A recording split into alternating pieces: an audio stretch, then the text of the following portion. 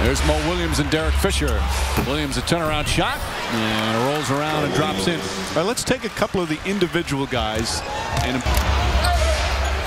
Mo Williams puts it in. Williams having another strong year, his second season in Cleveland. I like about him, he also makes plays on the offensive end. Williams off the turnover, flips it up and rolls in. Williams had a very big road trip, a couple of big games against Sacramento and Phoenix, and the Cavs go 6-0 to start. The other free agent. Another new face for the Cavs, Mo Williams. Nice shot. You one thing to pay attention to is Mike Brown has uh, given really been struggling with the shot, trying to work out playing less minutes. Mo Williams comes down and knocks down another 11 points for Mo Williams. He has been on a tear the last several games. And a lead. Back to the basket on the previous possession here. Mo Williams semi-transition. Got great speed.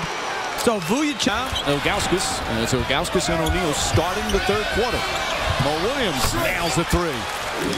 So they always believe that they're in ball. Mo Williams knocks down another.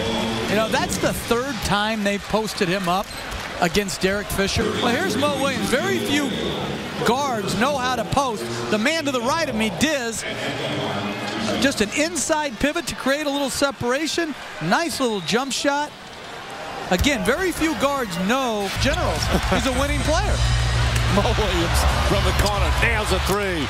Another big shot, 24 points for Mo Williams. Offensively, Mo Williams making plays, not just lob passes, but he's a big-time scorer. Fades off the down screen, makes the Lakers pay the price. Hand down, man.